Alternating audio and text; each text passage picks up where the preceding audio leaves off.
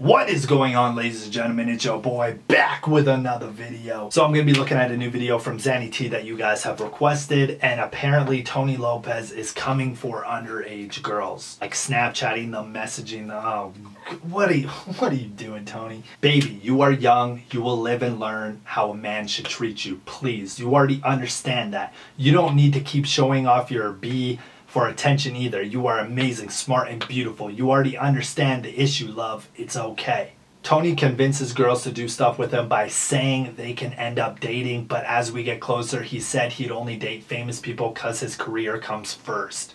But he just used that to wrap girls around his finger to do what he wants. So I have Tony on Snapchat. I'm used to get a text, and I posted this picture of me crying with um the caption of the next song, and then like.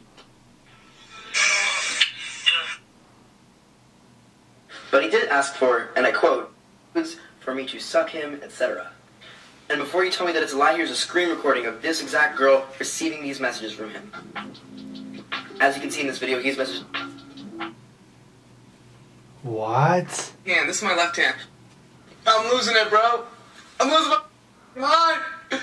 This quarantine bored. Now, I don't know how many of these are real or false because, as you guys know, Tony Lopez has also stated on Twitter and stuff that there is a lot of fake screenshots of him and whatnot. But I mean, some of these were even videos. And I just don't get it. You know, I remember being a teenager and I was so pumped to be an adult just so I could go after cougars. Is that okay to say? You guys know what a cougar is, right? And, you know, 30, 35, you know, you know. I would say the other word, but you two might be like, dads. I thought that was like every boy's dream to, you know, turn 18, 19, just so, you know, they could uh, go have some fun with, you know, the, the older girls, you know what I'm saying? Bro, if it is all real, it's gross. I'm not gonna lie, he's Snapchatting them. Dude, I don't even give out my Snapchat on YouTube and stuff. The only people who have my Snapchat are like people from either like 2015 or 2016 when I first gave it out or my close friends because the reason I don't give out my Snapchat is for this reason. You know, I'm not gonna receive some photo from some young girl where I'm gonna have to go contact her parents about it. You know what I'm saying? Or a boy, you know what I'm saying? Like like I said though, I'm not gonna sit here and be like Tony's this,